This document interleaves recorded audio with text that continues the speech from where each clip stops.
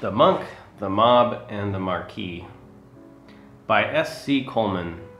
Copyright 2021. Read by the author. Introduction. This book will present an image of the three true bases of power in the world. This book will present an image of the three true bases of power in the world Within the ancient Roman Empire, three possible bodies of governance are described. However, one of these is wrong. While the role of the emperor can be found in the marquis and the mob remains the mob, the Greek oligarchy of nobles is more accurately described as the oligarchy of the priesthood. The priest banker, as we will come to understand it, is more accurately the true oligarchy that so many speak of.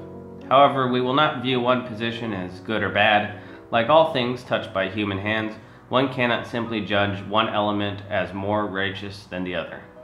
Evil and good can be found in every corner of the world, but motive and consequence are of utmost importance. Instead, we will examine each major role without bias and the techniques, strategies, and fields in which each role contends against another. Rather than imagining ourselves from one position, we will look at them simply as they are players in a game. Make no mistake, the world is always at war, in fact, in places of peace, the wars can be more brutal and the lines extremely blurred. War is not always waged by flesh and blood, but it is an all-reaching conflict between principalities and powers. Chapter 1 Roles The Marquis is, possibly, one of the most founded roles in our modern minds. It is the dictator, the emperor, the king, and, of course, the marquis. The state agent that rules with iron and speaks with thunder calls down the legions from the north, and takes by for what force what is not willingly given, is the Marquis. The Marquis is unforgiving, but is not unknown to mercy. Instead, the Marquis is benevolent overlord, who cares for his subjects as long as they do not rebel. Our first example takes very little introduction. However, the Marquis is not always as is perceived, for many have been pawns of the more insidious role, the banker priest. This role prefers to operate from a distance and within the shadows. The Marquis historically has been the priest's bitter rival. Centuries ago, the French monarchy, along with a detracting Holy Roman Emperor, struggled against the influence of the priesthood. The state and the church fought over the minds of their subjects, with pawns changing hands on many occasions. The peasant class was the prize as the two ancient rivals struggled for supremacy. However, both greatly fear their rarely seen enemy, which can bring destruction to both in a single night. The mob is the unstoppable wave that erupts when the people rise up against the monk, the marquis, or both. While this has been seen only on rare occasion, it generally comes to pass when either the monk or marquis become complacent, and does not always bring its wrath to bear against both.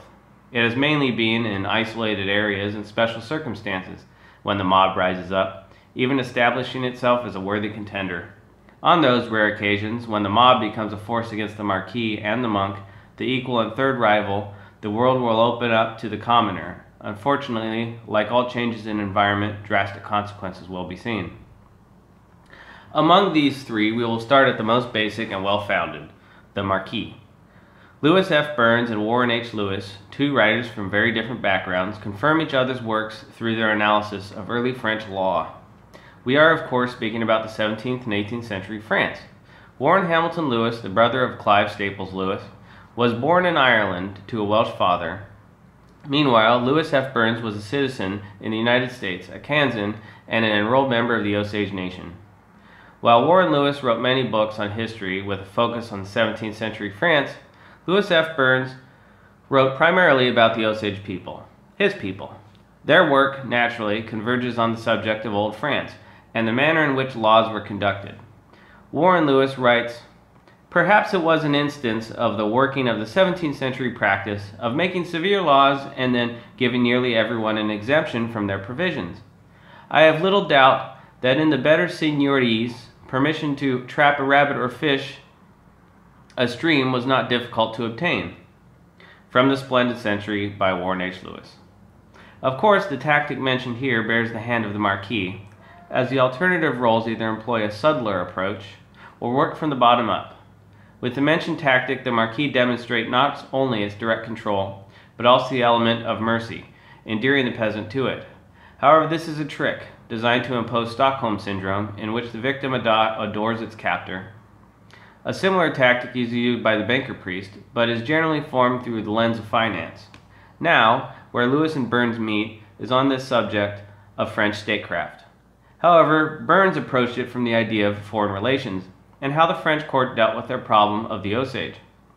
While Burns brings forward a scathing review of Spanish rule, or lack thereof, he mirrors the same analysis as Lewis. Burns states that the French, while passing the most draconian of laws regarding trade and other relations with the Osage, never put into practice that which was decreed. In actuality, while displaying an aggressive stance, the delegates and French subjects on the continent of North America always dealt amicably with the Osage, contrary to the edicts in France.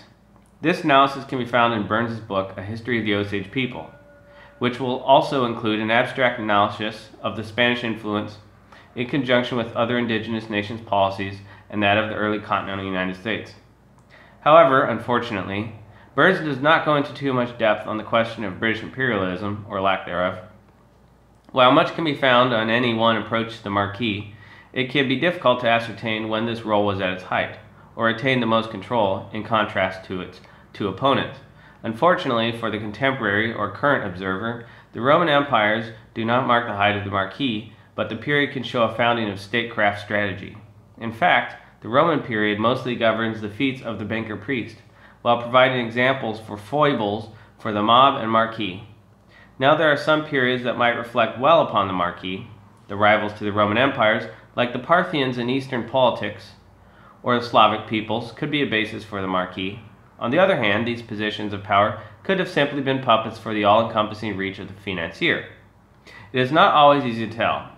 Some might even say that Genghis Khan represents the height of marquis powers, but evidence points to his role as more of a puppet for the mob. Generally, when it comes to mob, merit is the most important trait, while the marquis and financier tend to focus on hereditary ties, or those with the right pedigree. Therefore, what are some examples of well-founded states that control banker priest and the mob? Well, focusing on Europe, the French monarchy was always a great challenge to the banker priest but not as much the mob in later years. Conversely, the biggest rival to the French in later years could be seen as a marquis state. The rival is the Prussian Empire, which kept its own gold-backed royal treasury. The mob and banker priest were both subject to the marquis's iron fist in the Prussian Empire. Furthermore, this state was considered by England, itself a kingdom dominated by the banker priest, to be an army with a state rather than a state with an army. Of course, I speak of Old Prussia before it was invaded by puppets of the banker priest, the Nazi. Now that acronym, German for National Socialists, carries a lot of emotionally charged energy due to the banker priest's propaganda, but one must look beyond their preconceived notions and emotional entanglements. It must be understood that the banker priest, the marquis, and the mob are all equally capable of great evil or great good. Seeing one group as inherently evil or inherently good will mean that the mind has been hijacked by one of the three, rather than being allowed to think for itself. Another historical example, one with perhaps a little less emotional baggage for the so-called Western scholar, is feudal Japan. Now, while the feudal state is often pointed to by banker priest historians as a basis for marquis power, this is only sometimes the case, but usually is not. In fact, the idea of a feudal state can take on many variations, and is a term used today by the banker priest to marginalize its enemies. In many, if not most ways, by the banker priest's varying definitions of feudal state, the Roman empires were some of the most feudal. Of course, feudal would be synonymous with futile. Along with this theme, Imperial Japan was a place completely dominated from top down by the emperor, with complete backing by the people. The crown of Japan forbade and harshly opposed the influence of the foreign banker priest. While Japan did, at one point, have a priest banking class vying for control, this player was never, never able to gain a meaningful foothold. In fact, Japan's marquis arguably was able to take supreme control because of the war between the Shinto and the Buddhist. Therefore, when the Jesuit arrived to her shores, hailing from Portugal and the sanctuary of the banker priest, the Japanese immediately recognized the threat for what it was. Now, the real source of anger against the Jesuit is likely buried in decades of censorship or simply destroyed, but the pattern is plain to see. Therefore, still resentful towards the Japanese Marquis state, the banker priest finally got his chance for revenge in their instigated world wars. In all the chaos, the banker priest was able to use its investments in the United States government. Chapter 2 The Middle Ground Warrior Castes The warrior caste is the main element in all geopolitical spheres that stands out as an outlier. This type of group is, essentially, the only role which has a choice in its circumstance. While never being an independent player, the warrior caste will work for one side or another.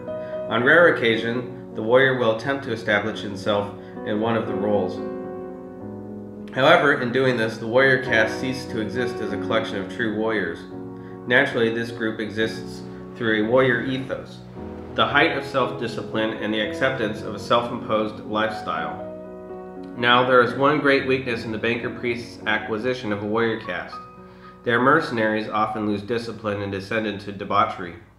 Thus, the banker priest's warriors are always the weaker, despite being the best equipped.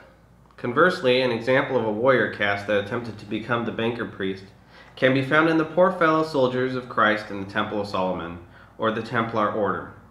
While this order is still loved by the banker priests and persists today, it is far from the warrior caste.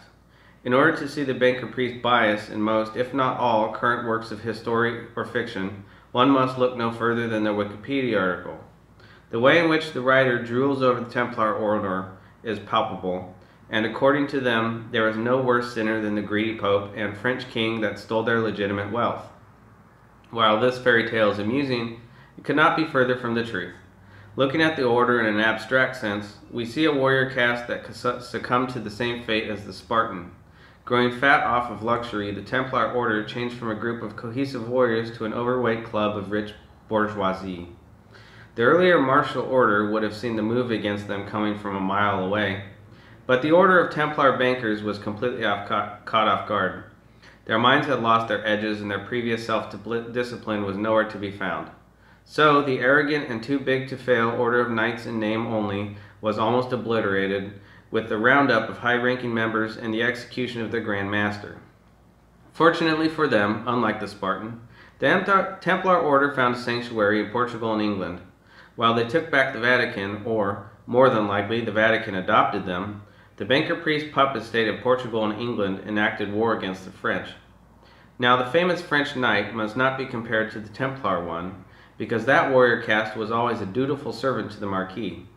Subsequently, when looking at the Templar order, the Spartan provides a great backdrop. This is because that old warrior caste, which set itself up in the role of the Marquis, succumbed to luxury after taking the city of Athens. Therefore, corruption and greed broke down the discipline of the Spartan and led to their destruction as a military order. Furthermore, when compared to the Templars, who narrowly escaped eradication, their current members could not be further from that which identifies a true warrior, being largely old, overweight, or childlike men. Although the corrupting nature of luxury has been leveraged effectively by this ancient order's descendants against other martial groups, including state militaries. Some warrior castes defy the very definition, but they can be linked. The main example of that both fit into the warrior caste, but can also take the positions of the mob, can be found in largely nomadic groups. The Tartars, the people groups that formed the basis of the Mongol Empire, and the people of the Osage Nation are two nomadic warrior groups that practice a disciplined warrior's lifestyle. The reason why they can both be looked at through the scope of mob rule and a warrior culture is through their almost obligatory practice of hunting. The Tartar and Osage both looked at warfare like a great hunt. Therefore, as they hunted and warred in the same way, all citizens could be called upon for total war against an aggressor. Alternatively, they could be the aggressor, hunting their enemy like prey. In fact, this very style of warfare was brought against the enemies of the Mongol Empire, instituting a strategy of, strategy of encirclement while leaving a route for defeat, for retreat. With the idea of a state built through the discipline of all its members, the Mongol and Osage are similar to the Spartan. All members of the society were warriors, even the children, which could be called upon for the defense of the state. The Mongol child grew up in the saddle with a bow in hand, therefore, every Tartar was a warrior. Similarly, all boys of Spartan birth were placed into training at the age of 12 and can serve in the auxiliary forces if necessary. In the Osage example, many rival groups and European soldiers were terrified of the children and elderly due to their prowess with the bow, lance, and knife. Louis F. Burns gives a good analysis of Osage warfare techniques, while the author Jack Weatherford has published many works on the Mongol Tartar. Naturally, there are numerous authors that can give insight into the Spartan, but the historical fiction book of Gates of Fire, written by Steven Pressfield, perfectly, perfectly captures the plight of a Spartan soldier. On a final note, Burns provides a more logical and alternative viewpoint to the supernatural and magical powers of the gun. The musket, or rifle, was not superior to the bow, and in many ways still is not. First, the bow and arrow remains far quieter than the combustion-driven bullet, although requiring greater skill. Additionally, the way that the Osage fought was greatly influencing Additionally, the way that the Osage fought has greatly influenced modern warfare, though they be not accredited with this achievement. The Osage warrior would charge his enemy, firing a rapid volley of arrows, and then he would switch to his lance.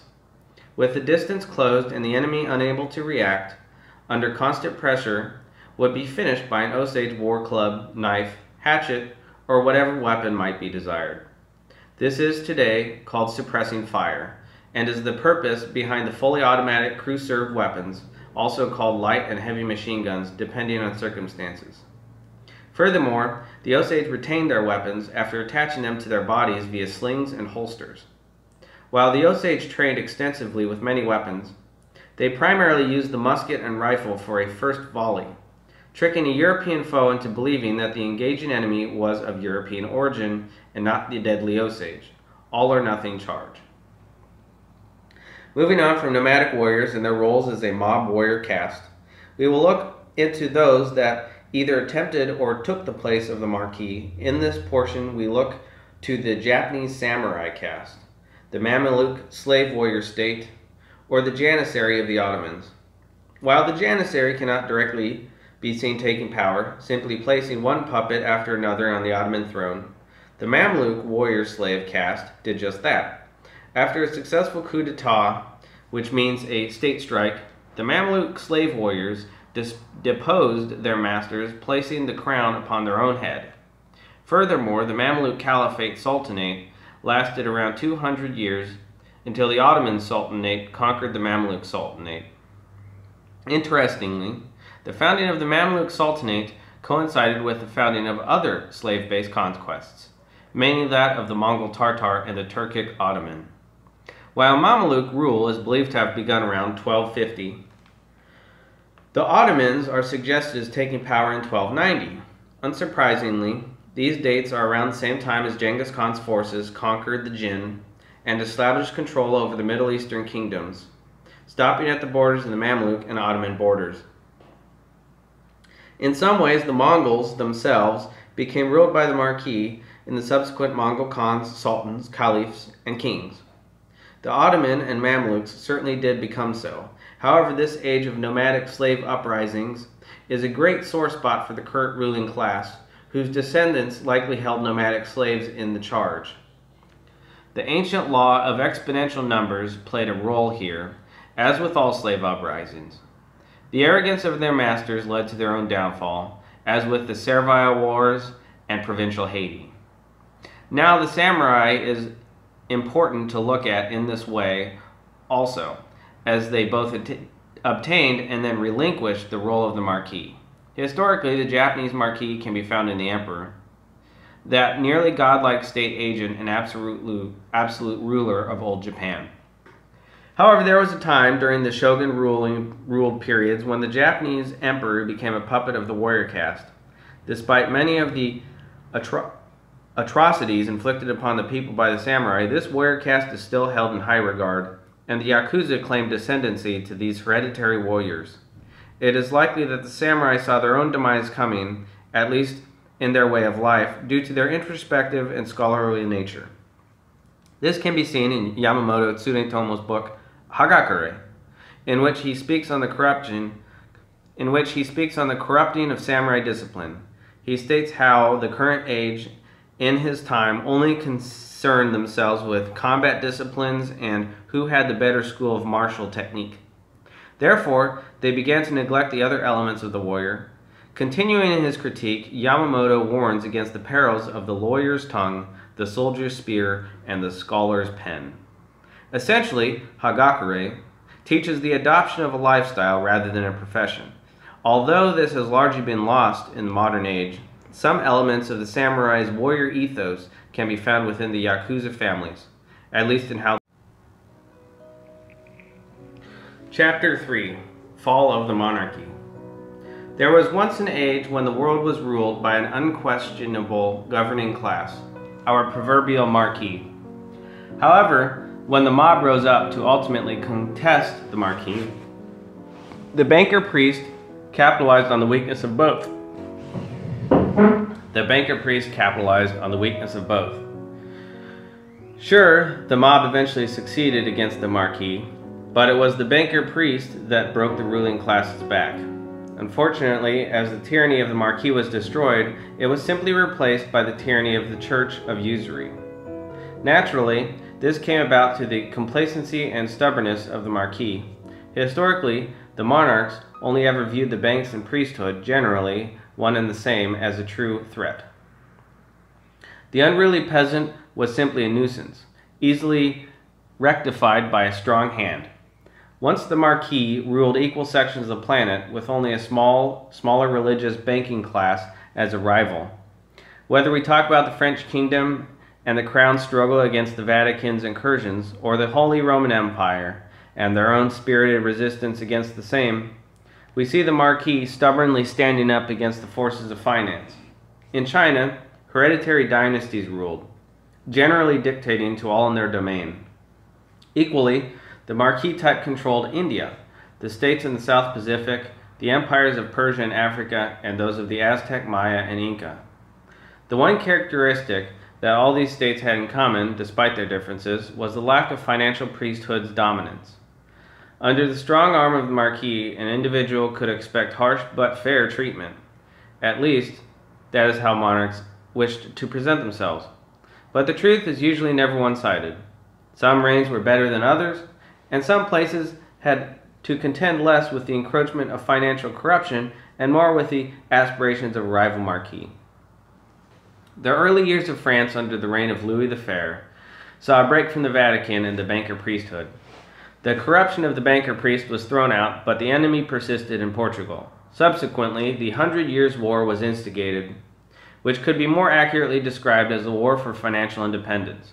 Portugal and England fought together at the beginning, as both were thoroughly under the control of the Vatican and the banker priests. However, in England, under Henry VIII and his establishment of the Church of England, there was a break from the Vatican and financial corruption. Unfortunately for England, the corruption of finance is a patient and slippery foe, which will wait for an opening to exploit and sneak back in. The majority of the European wars fought among mercenary bands and puppet monarchs were instigated on behalf of the banker priests. Unfortunately for them, on occasion, the wars would spill over onto their doorstep, and they would be targeted as the correctly identified source of the conflicts. Due to the shifting allegiances, more aptly described as bribery and corruption, the history of European wars can be looked at in two ways. The solidifying of Marquis sovereignty in certain states and the survival of the banker priest in others. The Holy Roman Empire even had numerous disputes with the banker priest and the corruption forces from the Vatican, challenging the authority of the emperor. Oddly enough, the Vatican would have seen itself as imbuing each king and the emperor with power. Therefore, the kings should have been puppets to the Vatican, and on occasion they were, much to the chagrin of the peasantry. Clearly, the peasantry and soldiers were always thrilled to make war against the banker priest and reappropriate funds that had been acquired by the banker from the royal treasury or the peasants themselves. Within the realm of French history, we can find a path to truth. France, French was the court language for so many years and preceded English as a world trade language, being brought by French smugglers and traders to the Americas, Africa, the Middle East, and Asia. Therefore, a proper delving into French history could, at least, blaze a trail through the rampant and compounded propaganda that we are fed, plate, fork, and all. Many marquis strongholds are worth mentioning. Those that held out the longest against financial corruption and the anger of the mob. The Prussian Empire retained a well stocked treasury with the specific purpose of furnishing the military against financial corruption, and this system was effective for a time. However, an odd note, numerous Prussian generals such as Friedrich Wilhelm von Steuben and Emil Kerner helped to train revolutionary forces. Naturally, this could have been of their own volition, but there was always an amicability. There was always an amicability between the Prussian Empire and colonial mob rule. The likely answer for this is the adage, the enemy of my enemy is my friend. Meanwhile, most of the monarchies of old are but a shadow of their former selves, no more than show dogs for the banker priest, used to dazzle and distract the public. The Bourbon line, allegedly, is hiding out in Spain after being thrown out in France centuries ago. The Swedish line can claim lineage only to a Napoleonic general who was invited into the country's throne rather than conquering the kingdom. Furthermore, the English line is nothing more than throne usurping Germans also invited in, rather than the Norman, Saxon, Norwegian, or Roman conqueror. Once a king could reach out with a likely understocked army take that which he desired, with little bloodshed on the side, of course. This downfall came about for two reasons. When it comes to the question of the Marquis's stance on his two opponents, the approach is always the same. What cannot be accomplished through a paper edict must be carried out by force. Now, the intention and consequence will differ between a marquis that acts of his own volition and those that are puppets of the bank. Naturally, these approaches simply cannot contend with the corrupting force or that wide reach of the mob. While a financier can simply pay a rival king or other state type to make war on his enemy, the mob has an endless supply of tactics. Sure, many of the methods which the mob employs can also be acquired through the banker priest's coin, but a truly aware mob can be the most dangerous of foes. Therefore, when an overly draconian edict is passed, the mob might simply ignore this. Furthermore, any that do not side with the mob can be pushed out of society altogether, not allowed to show their face in public establishments or go anywhere without being harried. Of course, the banker priest can finance such operations also, as can the marquis. However, the marquis and banker priest, when compared to the mob, are like the Pharaoh's high priests in, his, in the Bible, only able to conjure cheap tricks in the face of raw power. Rather than looking at this picture in the way of the banker priest would want us to, we, we should open our minds to what the marquis truly is. Titles may shift from emperor, president, premier, representative, congressman, special agent, or any other, but a marquis will always be a marquis. They are essentially bureaucrats, lacking all reason, logic, or creativity. Despite all of the flowery nonsense that they may conjure, they only pass edicts and rule by force, nothing more. The majority of state agents today are in the pocket of global banking priests, but this was not always the case. Unfortunately, all of the systems set up to make the Marquis a mob puppet were infiltrated and corrupted by the banker priest. Thus, the Marquis shifted hands. The title of dictator is, in actuality, and has always been, a puppet of the banker priest. Although, the banker priesthood will often target its enemies with this label. Conversely, the fascist dictators of the past century are in fact banker priest puppets. They retain no actual power, which could not be taken away in the space of a single night. Make no mistake, while the banker priest might employ a hands-off approach, always using agents and misdirection, they will not hesitate to employ ruthless methods, like murder. Meanwhile, the Marquis usually murders in the open, but on occasion might send an assassin or two. Throughout ancient and recent history, the Marquis's greatest weakness has always been the mob, rather than the banker priest. Sure, the banker priest will turn the Marquis into a puppet, but the Marquis can always, after gaining the loyalty of the mob, displace itself from under banker rule. Therefore, the Marquis is just as the banker priests, depends on upon the faith of the mob. If the public were to retract their consent and simply go on ignoring the Marquis, or the priest for that matter, the banker priest and Marquis could lose everything.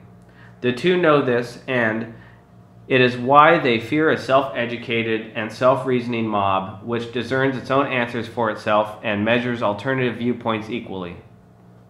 Instead of what the banker priest would like you to believe, there is no one event that brought down the Marquis. Sure, the banker priest's propaganda likes to constantly point to that French Revolution, especially the chaos and bloodshed from that period. This example is used more as a threat than an explanation, a voice that says, stay in your place or this will happen. In reality, a France that had risen up against the Marquis struggled for much longer than one revolution. There were multiple times that a king was installed back on the throne, and each time was thrown back off. The French Revolution precluded Napoleon, and while much fishiness can be found in history about the period, a French monarch was placed back on the throne after Napoleon Bonaparte allegedly installed himself. This happened more than once, yet none of this is covered in modern textbooks. That is because the Marquis did not die in one dramatic stroke, nor will such a thing ever be the case. Instead, the power of the king dwindled, and the Marquis went out with a whimper, as the position was reduced to a beggar at the banker priest's table. Sure, for a time, voting with one's feet became the rule of law, a popular leader would have the unstoppable mob base behind him, but could have his position reduced as his support base simply walked away from him. Any leader could rise into the spotlight in a short period but fall just as quickly. While the same is true today, it is finance that plays the support role rather than the vote. This was almost an inevitability when one looks at history and the power of soft spoken corrupting forces. This can be seen all over the world, whether it be the corrupting of Qing China, the pitting of Indian kings against one another, or the non-interventionist interventionalism by, brought by U.S. politicians. The all-reaching corrupting force of financial conquest stole the power from the people while dealing the coup de grace, or mercy strike, to the Marquis. In many ways, Imperial Japan was the last true holdout of Marquis power whereas the Soviet Union and fascist nations were only meant as periods of transition and would never have persisted in their particular states. On the other hand, Imperial Japan lasted the longest out of all independent Marquis states. Chapter 4 Pawn to Player The mob has always become a player on the grand stage out of necessity and circumstance, rather than ambition. It is the mob, not the marquis or priest banker, that is the most reactionary. However, this applies mainly to the history of Europe and the lands to our east.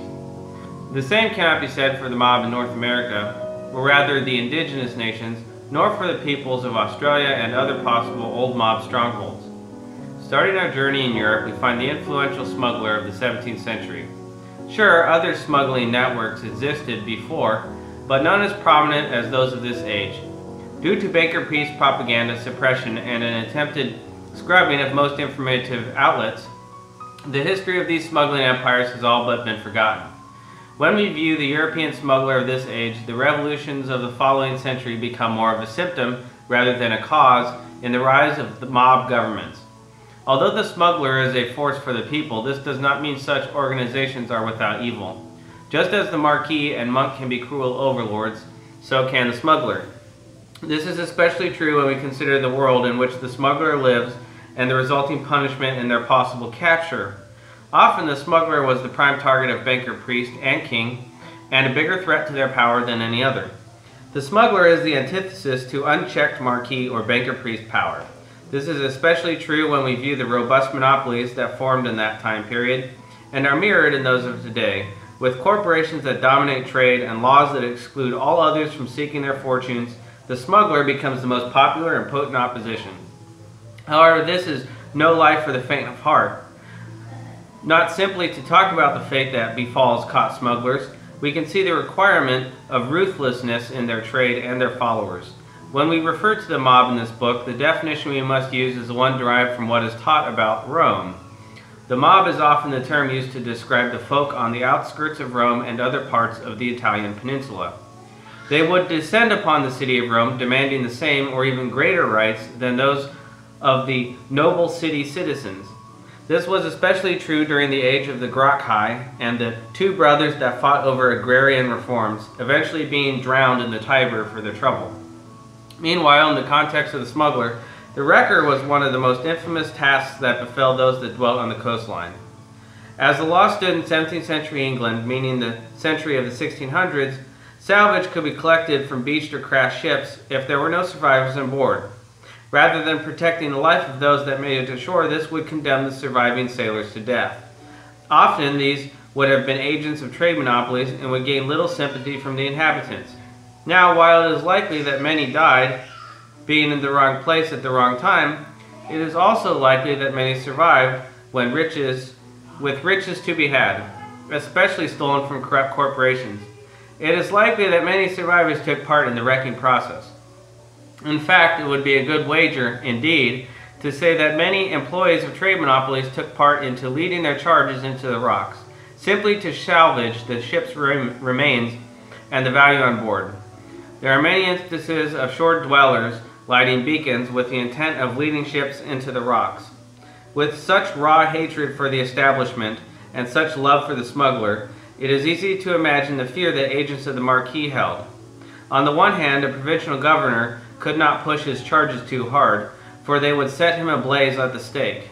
However, were he to report the truth of an impossible to handle populace, he would have his position stripped from him and all of his wealth by the crown. Therefore, the agent of the Marquis was caught between a rock and a hard place, with no option but to lie, which allowed smuggling empires and independent mob-like organizations to form. In 17th century France, the smuggler would bring his wares to villages, peddling expensive wines at a tiny fraction of legal price. This was due to heavy transit taxes for the winemaker, while those of a wealthier stock could purchase tax exemptions not unlike today. Therefore, while the common peasant would wear rags to appear poor for the taxman, he would drink expensive wines in secret. Additionally, should the Marquis's agents arrive in town, usually in the form of armed policemen, a peasant would run and ring the bell of the church tower. Then, the smuggler would steal off into the forest and hide among an extensive network of secret paths. Of course, the repercussions for the peasant herald would be severe, receiving not a small number of lashes, and then the bell would be cut down. In fact, this very event took place in a small village in France, which injured, which angered the then King Louis XIV, who saw the writing on the wall beforehand and sought to curb the harsh treatment of his subjects. Now, the rising European smuggling empires found refuge and camaraderie among their kin in the West. In fact, the term Wild West can be seen stemming from the European monopolist as a derisive term for an unconquered North America. It was until the popular installment of the Statue of Libertas that the Wild West was tamed, ushering in a new age of enslavement. Naturally, the goddess Libertas depicts that which is given rather than that which is a natural right, freedom and liberty. However, the North American smuggler did persist even after the taming of the West, but eventually became agents of the banker priest. Now, before all of these changing allegiances took place, the North American smuggler saw themselves as free traders. The kin of the European smuggler might have been of direct descendancy or married into an indigenous family, or even or still even carry relationship to a slave colony. Either way, the slave and the free trader of North America were friends to the smuggler. This strong relationship is extremely apparent in the dealings between the Frenchman, the Haitian Creole, and the French-speaking indigenous fur trader. Additionally, we can see this relationship involving the French smuggler and other parts of the world. This influential and impactful historical role is marked absent from history books, movies, and documents for one major reason. Through an individual's own intelligence, they can become a challenging force to the Marquis and Monk, not necessarily through arms, but the most dangerous resistance of all, financial. Using basic logic and no longer common sense, one can decipher the true backers of the majority of independent movements around the world and the driving reason behind them. These powerful smugglers instigated a global uprising to make their illegal trade legitimate whether it be the new independent state of Chile, the combined arms of the continental United States, or the failed rebellions on the Indian, Indian subcontinent, the participating forces were clothed, fed, armed, and paid by the smuggler. This is the only reason why these independence movements were successful where others had failed. The presence of the smuggling empires within these annals hang like a heavy shadow. While their specific names and deeds can be erased, the impact of their actions cannot. The history of the smuggling king can be seen written on the heart of the proudly defiant, the honor of old families, and the relationship of the white indigenous to their nations. Another element that shows the touch of the smuggler king in relation to the rising of mob governments can be seen in how the propaganda views a smuggler. Whether we look at a human or drug traffickers on Mexico's northern border or the cigarette smugglers across the Canada's southern one, the smuggler can do nothing but evil. They are all murderous, rapists, and most importantly, criminals. It matters little what product is being traded, but how it is being traded. When a person dares to commit the ultimate sin of tax evasion or license evasion, they are challenging either the hold of the banker priest. Therefore, such a person has committed the gravest error. If found, such an individual, if found, such an individual will be treated worse than any other type of criminal, and there is no questioning this degree. To come to the defense of such people is treason in the eyes of the banker priest, for they fear, above all else, the empowerment of the people. Such is the conflict of rising principalities and powers, which must destroy an opponent to take their place. Now, looking upon this period and how the mob became an equal, if not surpassing the influence of both banker, priest, and marquis, the position of the indigenous North American trader cannot be overlooked. They held an integral role in the shaping of modern governments. Despite these governments' corrupt natures today, not only did the indigenous share stories of individual independence and methods for self-government, they also practiced trade freely as a natural right. Therefore, the most common reason that members of indigenous did revolved around trade rights. With this belief, the trader from an indigenous nation would ignore the trade laws of the European and suffer gravely for it. Naturally, this would elicit a violent response from their nation, as this would be considered an act of war. Sure, certain indigenous nations might place trade embargoes, like that of the European, but taxing and licensing trade was an abhorrent thought to the indigenous trader. On the other hand, in the case of the Osage, this viewpoint was not taken towards land ownership. They would rent out land to settlers and collect a tax for the privilege. Land ownership was somewhat of an abhorrent idea to the American Indian as well, but they could fathom it, more than the licensing and trade taxation. With this viewpoint, it is no surprise that smuggler, American Indian... Chapter 5 Rise of the Financier The rise of the financier, as in the Bible, is a role that comes directly out of the religious sect. Therefore, to properly understand the approach of the financier, we must look at the priest. When we look at priests, many perspectives can be taken, and this will tell a person in which role they reside. If one looks at a priest through an emotional lens of adoration, they are likely a pawn of the church, while hatred can represent a member of the mob or an agent of the marquis. Not only hatred, an opponent will see the monk as a pedophile. A rather common vice among the priesthood, members of this sect will employ strategies and tactics that reflect the nature of a pedophile. Such individuals, when male, are usually cowardly and avoid controversy and attempt to effect change through subversion. They prefer to remain in secret and enact operations to further this end. The monk, or their agent, is the type of man that would hide behind a woman to avoid a duel, depending on the righteous social nature of a male contender for protection. They will also hide behind children, using them as a shield against an otherwise hateful mob or marquis. Naturally, both will be disarmed by the presence of a female or childlike shield, which represents the face of purity and innocence to protect the guilty. Now, the field of finance is a prime arena for this type, and one in which the monk excels. The centers of the monk's financial conquest have changed on occasion, but the strategy generally stayed the same. Due to their nature, these learned people hide on the periphery and are commonly men with a taste for youngsters. The women in these sects usually work for and often worship the cowardly male players, which will present a childlike face to the women, letting the women take a motherly role. Therefore, the monk financier waited until the mob and marquis had weakened each other, and then took over as the major player in the world. This can be traced from Jerusalem to the Vatican, through the temples, mosques, churches, and other such institutions. Whether it be the Knights Templar or the High Priest Banker, we will examine the Jewish and Christian form of this type, their main weapon. Their ignorance of their pawns and innocence are used as an insulator and they depend on the role of holy sites to insulate their wealth, which is often stolen. On a grand scale, the financier and Vatican are nothing more than most effective cult leaders, which is why their pawns always flock to cults and secret groups. At one of their beginnings, the high priests and the Sanhedrin of the Jewish faith took the primary role of the religious financier. In fact, the Jewish leadership was the worst when it came to Jewish persecution. And then they hid behind the very atrocities that they committed, claiming their Jewish ancestry. Among the most frequent examples, this role is most apparent in the Bible. Now, regardless of faith or belief, the New Testament and the position of Jesus of Nazareth clearly explains the priest banker.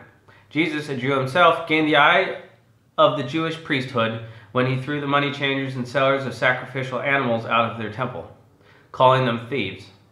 Thus, threatening their prime position of power, Jesus had to be eliminated. The question of where this wealth went is easy to see when compared to the Knights Templar and the Roman Colosseum. It is alleged that the Romans dug up a significant amount of treasure from under the temple in Jerusalem, which was then used to finance the Colosseum. However, a common tactic of the priest banker, the bulk of the sum was likely buried under the Colosseum. You see, the priest banker depends on sacred sites and the emotional investment of the locals in these sites to insulate their wealth. In fact, they use religion in a similar way to insulate themselves from justice. With the example of the Knights Templar, no single member owned, with the example of the Knights Templar, no single member owned any property or wealth. Instead, the order owned the valuables, thus using the protection of religious technicality, the banker priest is able to protect his wealth from being taken, in the same way that they had taken it from others. However, the banker priest miscalculated in their endless conflict against the Marquis. A coalition of a pope and king targeted them, seizing the order's funds. Since the legal justification for this stemmed only from the Vatican, the banker priest realized they would have to take back the stronghold before they could re-solidify their claim over other parts. Although it is possible this occasion was simply a result of the banker priest center, the Vatican, taking out a rival, the Templar Order. Additionally, the same conflict can be seen between the Sanhedrin and the high priests in the Bible, in which a major conflict was brewing between the two before Jesus arrived. In the conflict between the Templars and the Pope, the high priest lost, and the Order of Christ reimposed control over the Vatican. Today, the effect of these strategies, which have their fundamental principles based out of religious usury, can be found among nonprofit organizations, the modern day families of high finance, and the corporations that tie them all together. The appearance of separation between banks, corporations, and nonprofits is another element to the priest-banker strategy of remaining in the shadows. They use cat's paws to effect change, make war on the mob and marquis, while shifting the wrath and hatred of their opponents towards their pawns. Often, especially when they are directly challenged, their ignorant and emotionally invested pawns will take the defensive position between them and their opponents. The members of a church will stand between them and justice, or a protesting group of teenagers will flood the streets, giving the financier cover to hide from the mob and the marquis. In this regard, it matters little what the belief or faith is because their main tool is the emotional investment of their tools. The hand of the priest banker can be seen in many areas of modern and recently past society. One such theme applies to fascist and communist movements, which tend to use children as their foot soldiers. The innocent and brainwashed will always provide a good shield against the pitchfork mob, whether it be on the streets of New York, the voice of a child on a news broadcast, the United German States in 1930, or child soldiers in the jungles of Africa. However, the banker priest fears the pitchfork mob among all else because it is united and difficult to contend with adversary. There are a few positive names for the mob, but is far from an undisciplined and unorganized rabble in actuality. In some cases, an actual group of violent demonstrators or a lynch mob could be the product of manipulation. However, as stated earlier, the mob as a political class is a marginalizing term that originated from ancient Rome and was applied to citizens that stood up for the individual freedom, usually with dire consequences for the aristocracy. However, while the priest banker was largely However, while the priest banker has largely existed on the periphery, their fear of the mob is apparent. In fact, they fear it more than the marquis, their ancient rival of equal position, a peer, if you will. The banker priest does not fear violence against them, nor an armed populace. Sure, they desire an unarmed populace with all weapons in the hands of their agents, and this is for a different reason. Instead, they fear discovery. They fear the true extent of realization and the understanding of how far their control truly goes, in addition to how they operate. This is because instead of having to deal with the mob, their own agents will discover for whom they have been working, and then the banker priest will have no place to hide. Therefore, they must keep all eyes off themselves and constantly shift the focus of their pawns, the mob and the marquis. Now, addressing the question of a disarmed populace. Mercenaries are the ideal force for the banker priest because such individuals are loyal to payment. Evidence of this can be found with Swiss mercenaries, still guarding the Vatican centuries later. However, a mercenary with a conscience is a dangerous thing, but not more dangerous than an armed populace. This is because an armed populace can defend themselves against mercenaries and other agents of the priest banker. Their system depends on emotion to operate, mainly fear, and they offer a sanctuary for individuals' wealth, conveniently convincing people to peacefully hand over their property. It is a conquest that requires little bloodshed and is mostly based around rumors. When people fear robbers around every corner, down every street, they will put their money in banks, which are controlled by the priest banker. Now, applying pressure on businesses and governments, the priest banker can obligate every person to deposit wealth into their hands, but they cannot give up on the fear mongering. On the other hand, overplaying the card of fear will cause people to become immune to its hold and see through the smoke and mirrors. Instead, punctuating a fearful world with moments of respite and entertainment, the priest banker can endlessly manipulate the victim's perception and perfectly form what they call Stockholm Syndrome. In this way, the priest banker becomes the savior, protecting the victim from the very danger that the priest banker created. In a more simplified example, let us take a look. Let us take into account the Templar. A thief, which the priest has paid, will rob a pilgrim on the road. Then the priest will present himself to the pilgrim and call on his dear friend the policeman. Of course, both paid by the priest, the thief has already handed the wealth over to the policeman. Returning what was stolen to the pilgrim, the priest has now gained a position of trust and offers his bank, usually the church, as a safer place to store his wealth. In fact, this is exactly one of the prosperous schemes of the Knights Templar, establishing a banking system to protect the pilgrim's wealth. Of course, one must ask the question, why were the Templars themselves not robbed by these rampant highwaymen? While this is a simplified example, the same game can be seen played out in so many ways. Fear propaganda from the news, movies, and TV shows look down on the proverbial hiding one's money under the mattress and would rather have people willingly hand over their gains to institutions of higher theft. Additionally, the purchasing of the right to tax, maneuvering the financing of every single institution away from the hands of the public, bailing out corporations and banks, as well as funding both sides of a conflict are clear-cut signs of banker priest manipulations. Therefore, it would be of little effect to rail against one's governor, president, congressman, or even hometown priest, because they are all simply pawns in a vast web. Chapter 6 The Field of Law There are, essentially, three main bodies of law. The most important of the three is that of practice. The practice law is that which is enforced, regardless of written or righteous law. The personally applied law of a single province could detract from righteous law and written law. Of course, natural law is another element, but this could be viewed as simply an extension of practiced law. Now, written law can be referred to as a decree, this is that which is written to be put into force, and is usually interpreted by lawyers and judges for their own ends, or those of their masters. In fact, often, those with the ability to interpret will write their own laws into practice. Whether or not the precedent is established as legal will be of little consequence. In modern courts, precedence is law, and that which came before the precedent was set. Additionally, a new precedent can be set but this must be established based off of an old one, or the old one overturned. Either way, in this manner, the law is fluid rather than founded and can be changed based off of the whims of its interpreter, referred to as jurisprudence. Such is the way of the courts today. Now, in relation to practice law, a court's findings mean one thing, but they are not enforced, then they are simply words on paper and nothing more. Such is the way of things, especially when righteous law comes into play. If the practiced and written law become completely corrupted, a righteous law might take hold, especially in the form of what they call vigilantism. Naturally, vigilante actions come from the root word of vigilance, is highly important to those that bought the courts, and installed unelected law enforcement. Such justice flies in the face and does not recognize the sovereignty of the financier, priest banker that runs the other two elements of law.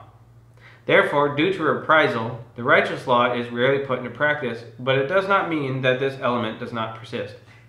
A simple example of this law can be seen within the public hatred for those afflicted by pedophilia. As a note, I use this word afflicted sarcastically, something I must state to avoid running afoul of righteous law. When a judge levies a right, light sentence, when a judge levies a light sentence against this widely accepted crime, or no sentence at all, and this is enforced, an individual might take justice into their own hands and bring righteous law into practice. Now, in this context, the term righteous does not mean that the invoker is right, but that they believe their actions are justifiably right. The same can be seen with the technology companies of today. Despite, despite practiced and written law of different countries, many organizations of today ignore these laws and implement their own especially when it comes to online social networks and the voice of opinions that a company hates. The company will impose their own righteous law against the offender. This can be done in this context mainly because of the corruption of written and practiced law in favor of state-guarded corporate monopolies, as in the days before the independence movements. Therefore, it is only with a proper understanding of these three realms of law that an entity or individual can become successful in this field. Rather than regarding only one of these elements, a player must draw on all of them, depending on the particular end. Now, a public citizen executing a lawfully freed pedophile is considered vigilantism and allegedly abhorred, while the vigilante actions of corporations is not. However, both actions fall into the realm of vigilantism, which is taking the law into one's own hands. When it comes to written law, the force behind an edict can always be seen through the lens of that it is written. Naturally, the written law of the banker priest will always revolve around finance. Whether this is of the movement of other humans or simply trade, the banker priest will view everything through the lens of profit and loss. The majority of immigration law is made with this concept in mind, controlling the human resource of the world, always with the banker priest's interest in mind. Additionally, tax law and licensing, the holy grail of modern governments, is all geared towards the banker priest's return on investment. Of course, their investment, as they see it, is allowing the global citizen to live on their planet, eat their food, and live in their world, among other things. This is a true this is as true in any area of society where employers will constantly refer to the investment that they made in their employees, especially when that employee desires a break. Now, the Marquis, of course, will write laws in its own best interest, Additionally, as it concerns the Marquis, there is little room for change. The only way to change the written law of the Marquis is to present a compelling argument in a way that benefits the Marquis. Otherwise, there is no change to be had, as the word of the Marquis is unquestionable. Meanwhile, while it is easy to ascertain the hand behind the written law of the Marquis or banker, it can be difficult to decipher the written laws of the mob. Additionally, when it comes to written law, region and time can vary the degree of decrees that exist. As an example, the mob in a province might write a law that contradicts that of a central government, acting on behalf of the Marquis. Now, this contradiction can be compounded when the baker priest decides on an edict that contradicts both. This very conflict arose in 17th century France and likely in other locations. If a church agrees that a law is unlawful to the Bible, this means a person can argue their position on religious grounds. However, the sovereign could strike this down as meddling in the affairs of the state. Then, an individual can argue for their case based on the sovereignty of the state. Still, further, an individual might argue that these laws are unfeasible based on his particular situation in the provincial government. Conversely, on a different note, do not be tricked by the words of marquis and banker puppets. They would say that this system is broken, which it is for them. However, were one to reside or side with the mob, this system is perfect. The more intricate and confusing laws becomes the more intricate and confusing laws become, the more loopholes and advantages can be taken by a member of the mob. Meanwhile, the Marquis and banker both will try to standardize a law for all, which will conveniently be favorable to one of the parties. With less room for maneuver in written law, a mobster is forced to accept the will of the Marquis or the banker priest. Additionally, case law is a method to remove other written law concepts like common law or constitutional law. Through the use of case law, also called jurisprudence, the judge becomes a deciding force as most are bought and bar any one of separate thought from joining their ranks. The judge will usually side with the banker priest, only rare, only rare occasions prove different. On the topic of the law in exercitatio, or in practice, we arrive at the realm of enforcement. While the prevailing propaganda would have us believe that this only applies to the enforcement arm of the banker priest, the policeman, is simply one mechanism in this area. The, the division between practice law and written law can be seen in an accurate assertion by the Prussian general Karl von Clausewitz when he referred to the use of the French and German languages. He stated that French is the language of politics, while German is the language of the military. A similar statement is accredited to Friedrich Wilhelm Hohenzollern von Preußen II, or Frederick the Great. There is little substantiated evidence that Frederick the Great said this, but such explanations can be found in Karl von Clausewitz's book on War, in which he makes other correlations to war and politics. Either way, it is in the fact that law is mainly written in Latin that we see by whose hand it has been forged, and for whom it has been made to serve. Meanwhile, practice law can take many forms, which can vary based on religion, culture, and language. Sure, the lawman is the most common example of law enforcement, such as a police force marshal or sheriff. However, practice law can also be that which is carried out by the public. Again, if a law is impossible to enforce despite the ardent nature in which it is decreed, such a law will only, only remain in writing. A case of this can be seen in the earlier colonial period of the continental United States. The so-called Whiskey Rebellion may or may not have actually happened, as with the War of 1812, which is very lacking in some logical details and impact. However, what is reported on the Whiskey Rebellion is very applicable to practice law and the unenforceability of that which might be written. In fact, the U.S. Bureau of Alcohol, Tobacco, and Firearms likes to point to this event as their founding, ignoring how they were a creation from the Department of Treasury. Nevertheless, this bureau and the propagandists would have you believe that the Whiskey Rebellion was fought over the right to consume alcohol, as the name callously suggests. Of course, such an insinuation should equally apply to Rhode Island in that case. Furthermore, the Revolutionary War, fought only a few years earlier, was influenced heavily by monopolies on rum trade, an area in which Rhode Island was a major illicit trafficker. The Bureau would have you believe, through insinuation, that the Rhode Island smuggling industry wouldn't have representatives in the Continental Congress to protect free trade. There are so many avenues that a scholar can take in this context, especially to poke holes in this ridiculous plotline. But let us suspend belief and imagine what the Bureau says is true. Whiskey, in this case, was an item that Congress desired to tax, but the farmers rebelled, saying they would not pay it. In the old days of farming, whiskey was a byproduct of the production process and would often be used as a preservative. Allegedly, General Washington himself led a force to suppress the farmers in Pennsylvania, which ended in an amicable agreement. I imagine the suggestion that this tax would be impossible to enforce would be the reason that cooler heads prevailed. Of course, the question should be asked, why so much drama when a letter would have sufficed? Also, the farmers would have known this was unenforceable, but I digress. The infeasibility of this law comes down to the production. Farmers could simply dump their preser preservative whiskey rather than paying the taxes on it. Furthermore, how would the tax be collected? Would agents be sent to each farmer to measure the quantities of whiskey? Or would it be based upon an honesty system? If other points are necessary to show how ludicrous and impracticable such a law could be, we, we need look no further than the prohibition of alcohol. Of course, the prohibition laws are very different in this regard, as they are a means to an end. The ultimate goal of prohibition can be discovered through its comparison to the 17th century French practice of leveling draconian laws and then exempting nearly everyone from it. But in this case, it was a means to roundabout taxation via liquor licenses for production, manufacturing, and distribution. This same tactic is repeated over and over with same variations, but the end goal is the same.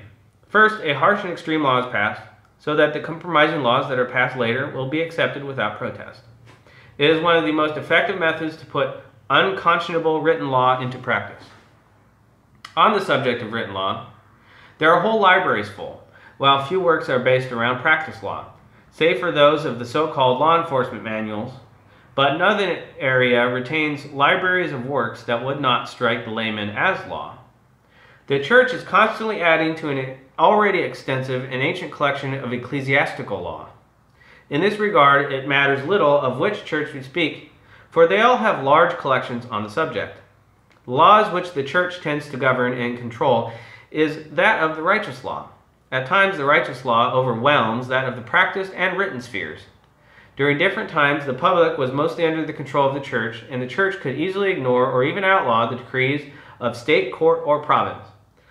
This is as true today as in our continuously useful example of 17th century France.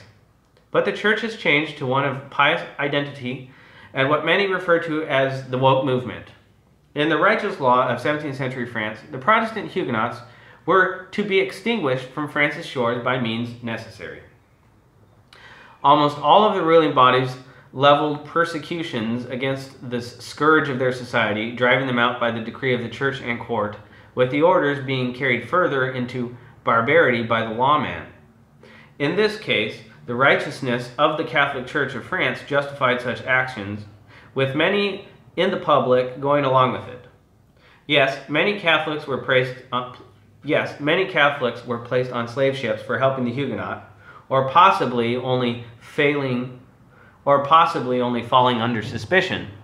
But without righteous law on the side of the Catholic, this could not have happened. Similarly, similarly, those that disagree with the righteous law of the social media or technolo technology company, or, more, or most corporations for that matter, will run afoul of their righteous law. In correlation, a corporation's policy is akin to the righteous decrees of the church and pious court of 17th century France. The corporation of today levy broad and unlawful edicts that fly in the face of practiced and written laws, but this is because they are following their righteous law. As with the health mandates of today, those that are in the minority with their own unique health issues fall victim to a corporation's policy which bars the user from seeking the corporation's services. Additionally, those of a different mindset are set up on social media platforms for breaking their community guidelines and their righteous law. Now, we must look at this situation objectively in order to understand righteous law without preconceived notion and bias. The righteous law of the oppressor will always appear as unrighteous to the oppressed, and vice versa. However, there are certain righteous laws that an oppressed minority will never have claim to redress. One of these areas is pedophilia, which is a subject that petrifies, sickens, and elicits the strongest of emotional responses. This proves a problem when attempting to codify the subject and what exactly constitutes a crime against righteous law. Additionally, the strong emotional responses of the perceivers often lead to other consequences. Desiring peace and tranquility in one's life, most will look away and avoid this subject, as too difficult to even mention. Therefore, such individuals will be less likely to notice the signs of the practice and possibly even fall prey to it. Now, in the case of righteous law, nearly all would level the sentence of death upon pedophilia. But this presents an issue, especially when we look to quantify, quantify the pedophile. In the case of the universal suffrage, or the age in which a person becomes an adult, the difference of a year within a sexual relationship can make a lot of difference. Also, should someone be framed as a pedophile, most will immediately leap to judgment, instantly condemning the offender because of the emotional entanglement that such charges will instill. Indeed, the concept of the pedophile and the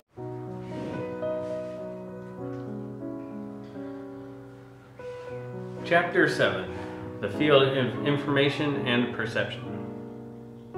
While many modern facts can be overt lies, a lot of historical facts, which are fictions in reality, can be drawn upon on for continued propaganda. Such historical fictions, listed as facts, can be found in nearly every corner of reality, but mainly within the causes of death. Now, the previous wordings might come off as a little confusing, so let me explain with some examples. Some country gentleman, not wanting to provide room and board for a visiting king's vast retinue, might raise the call that his town or village has been struck by the plague. Similarly, in modern times, a person might call in sick to get out of work at their company, claiming they had some disease. The reason these lies are so common is because of the generally cold nature that most low-level tyrants treat their subjects. If a worker at a company simply requests time off for a simple matter, they will be denied. Therefore, the acquisition of a contagious disease is the only remedy. Now, when an ignorant historian or a propagandist looks at these so-called facts, they will list overblown plague, sick call, and death counts as reality. Looking again at Warren Lewis's A Splendid Century, we can see him laying out this very scheme, but for the purpose of defrauding the French crown.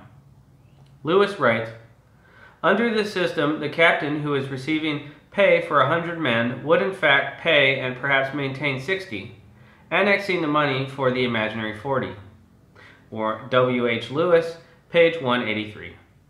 Adding to this analysis of rampant fraud, we can look at Lewis's next passage. It follows from this state of affairs that we must be very cautious in accepting the battle casualty figures in the earlier part of the century. For the captain, whose company had a nominal strength of 70, would undoubtedly, if he could get his men under fire at all, report that he had lost 30 men in action when perhaps he had lost no men at all. W.H. Lewis, page 185 from A Splendid Century. Combining these two explanations, we must question the all-powerful legitimacy of a primary source, which so many propagandist scholars draw on in order to push a singular perspective.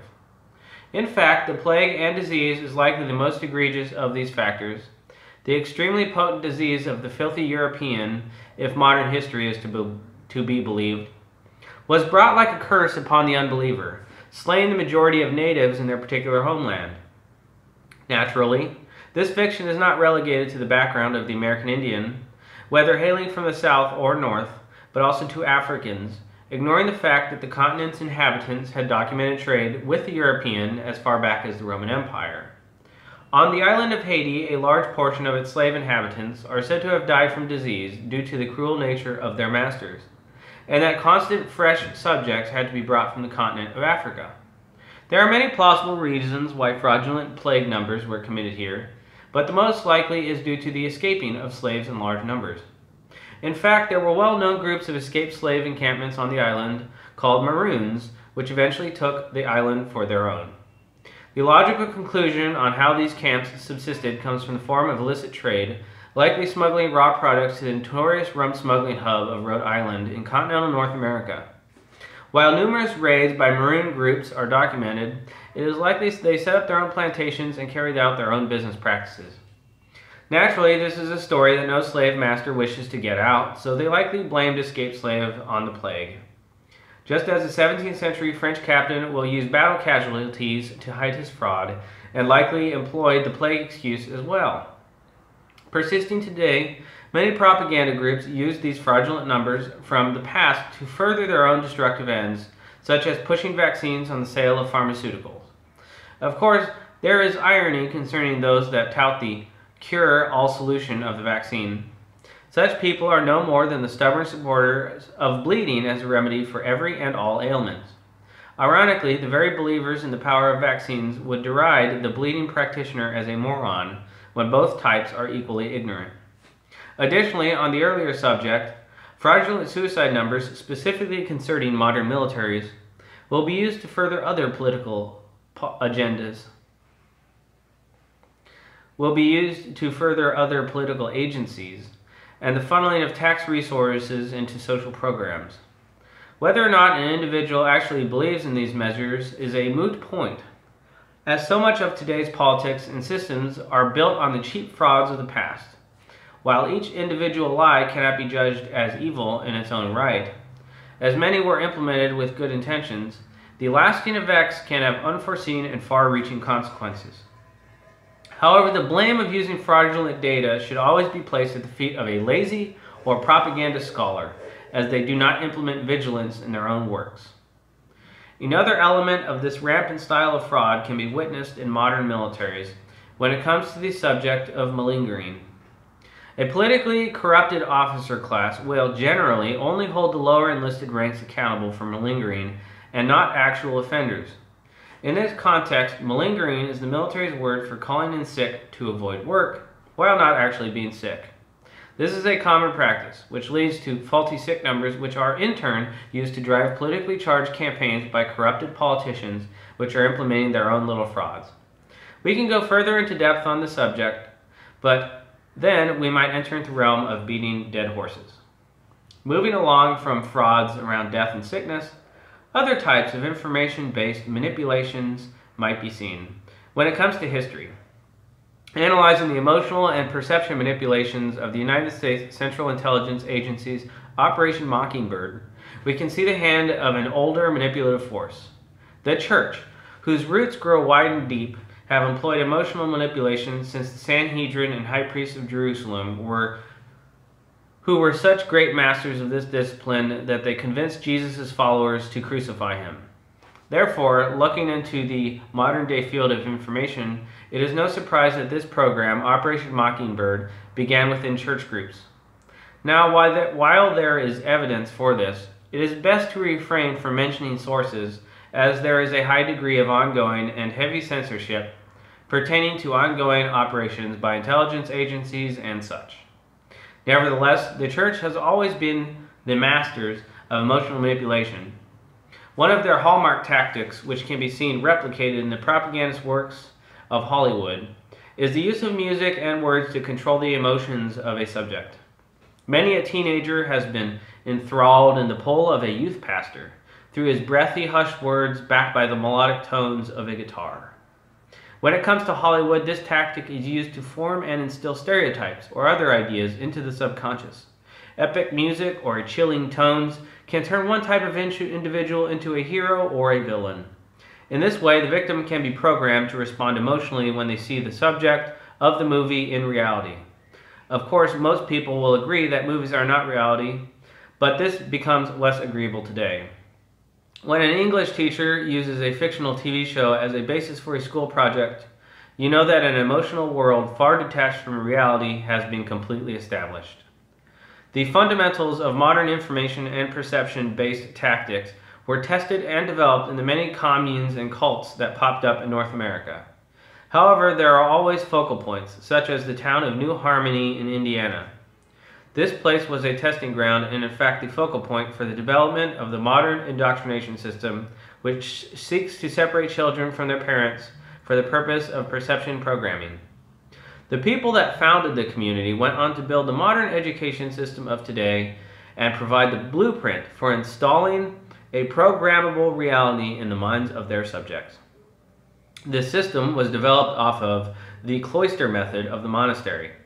Its subjects would be shielded and taught the evils of alternative viewpoints and free thought, even encouraged to persecute those that they say en engaging in blasphemy against their holy brainwashing. This takes place today, but in the form of the modern education indoctrination system, a form of pious cloister to insulate and train the next generation of brainwashed slaves. Subjects are encouraged to belittle, berate, even attack those with a different viewpoint, especially if they are dirty, inbred peasants that practice homeschool. Those that practice the ways of the modern education system are no more than the naive monks of the monastery. Instead of hiding behind walls and wearing dresses, while prophesying that they were the holiest of people, the naive monk of today color their hair, wear badges of whatever garbage ideology that they have been trained to profess, or dress in extremely unfashionable clothing that they think is, quote, cool. The majority are easily recognized because they go along with whatever they are taught from the Holy Temple of Television, the pious educator, or the all-knowing. Chapter 8 The Field of Finance Make no mistake, the true prize and object of contest within the realm of finance is resource. Whether it be of flesh, earth, water, or any other resource that generates wealth, the object of a financier is never money. This is the method, at least for today, used to trick the public into handling over all of their holdings. The true wealth of a person can be found in the mind and labor, rather than working to reap the rewards of one's labor and creativity. All of the mostly obligatory systems of today are designed to extract this wealth from the person. It is the financier that owns the land on which we walk, and the breath that circulates through our lungs. This is established through the complicated process of dazzling our minds with objects of arbitrary value, set forth by banking priests in the Vatican, where all roads lead. The object of most value in the world, which is impossible to quantify, is the labor of the creative mind. Since the banker priest has no such powers, depending solely only depending solely only on old financial tricks, they wish to remove such a resource from the playing field as they cannot control it. This is the purpose of the created this is the purpose of the creativity killing and education machine, which seeks to educate us all into obedient labor zombies. Truly, the second most valuable resource that a person can have is the ownership over others and that which they produce. A man or woman cannot serve two masters. Today, if the individual is either not their own master or does not serve a god, then they serve the church and the banker priest in whatever form that entity might take. To say that a person serves the marquis role today is illogical, as there is, possibly, no independent monarchy. Whether it be the woke corporations or the devout cathedral in the city center, these pious religious structures were made to serve the banker priest, the master of the financial field. There are multiple ways in which the banker priest has targeted the land and resources of others, some honest, others not so much. The Knights Templar, among other religious orders, had a particularly effective strategy of acquiring land. Prospective members would purchase an elevated position through signing holdings over to the order. While this strategy is not exclusive to the Templar order, they were very successful at implementing it, mainly through the fame that was gained through their riches from the Holy Land. Naturally, the poor Knights of Solomon, starting out as simple soldiers, until they stumbled upon riches underneath the Temple of Solomon in Jerusalem. Upon their return to Europe, they bought stores. Upon their return to Europe, they brought stories of adventure and many fortunes to prove it, driving a no small number of new recruits to their order. With the purchasing of ranks and titles within the order, their group's wealth swelled to new heights. Therefore, the use of fame and promise of new riches is enough to coax the wealth out of any person. As the saying goes, a bird in the hand is worth two in the bush a saying not taken to heart by recruits of the order. This is referred to as a swindle. Although swindling is usually only applied to those that trick the wealthy and connected, as the true robbers are rarely held accountable. On the field of finance, convincing one's mark to willingly hand over their valuables is always preferable to force. However, should a target stubbornly hold onto an essential piece of property, there are other ways of acquiring what is desired. One effective strategy is to pay a band of robbers and brigands, such as Robert Leroy Parker, also known as Butch Cassidy. Once paid, the agent will attack one. Once paid, the agent will attack one's target, opening the door for acquisition of the property. This very strategy was repeated multiple times and very effectively carried out against the people of the Osage Nation, in addition to farmers of the so-called Wild West. Some decided to resist the great force of financial corruption, like Billy the Kid or William H. Bonney. It is very telling that the governor of New Mexico refused a petition, which was not his to refuse, for the young man to be pardoned of all crimes centuries later. Now, in the example of the Osage Nation, we can get a clear picture of the strategy, or at least a form of it. Having struck oil on the land, which was legally purchased, the Osage became very wealthy. However, the bought agents of greedy banker priests in the city of Washington desired to acquire this wealth. Since the Osage had followed all laws in acquiring their land and were relatively connected, the land could not simply be taken, as in the case of the Sioux Nation striking gold in the Black Hills of modern-day South Dakota. Therefore, unable to move the Osage, the corrupt agents resorted to assassination. In what the Osage called the Years of Fear, outside agents would marry into Osage families and then acquire the Osage head rights after murdering the family members, usually through an industrial accident like nitroglycerin bombs accidentally exploding on a construction project, which would conveniently kill the targeted family members. Knocking out two birds with one stone, the newly founded Federal Bureau of Investigation came in to erase any shred of sovereignty that the nation possessed. In fact, it was the changing laws within the Osage Nation, not the Bureau, which ultimately settled the matter. Instead of passing to an outside heir, the head right would instead be recirculated back into the nation. However, the Bureau still uses this as its rallying cry for their first successful intervention. Now, while the changing of the Osage law seemed to end killings, it did not end the trouble. Future Osages would live in fear simply because they possessed that which is coveted. Unfortunately, this is a story that is all too common. A woman named Letitia Barnes had herself all but committed to protect herself from the greedy eye of those far away, but with a touch that stretches oceans. She had herself declared incompetent of the mind, which required a judge's order to get lifted later, as this was one of the few ways to protect oneself and one's wealth. Again, this issue is not regulated to the Osage, and many a critic might refer to this strategy as a simple. Again, this issue is not regulated to the Osage, and many a critic might refer to this strategy as simply a fantasy. Generally, such an individual is either an agent of the banker priest or has not experienced the icy touch of its desire. So many have attempted to pay off their debts only to find it acquired by another institution, which makes an unfixable error and, and erase all of the past payments. Numerous farmers and others have had their land stripped from them. Sure, laws are passed, visual efforts are made to fix those issues, but they will never succeed. Instead, the oldest tactic is employed, which is found in shifting and obfuscating the point of contention. Instead of a paid off gangster or policeman, the banker's agent becomes the health inspector or the safety inspector, leveling arbitrary and ruining fines against the target of the banker priest. Those which refuse to bow to the system will have all stripped from them.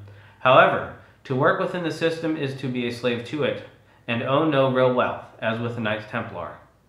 While it can be a hard life to resist this system, it can be terrible to be in it also, a proverbial rock in a hard place. This is because a select group of people won the financial field and conquered all others as a result.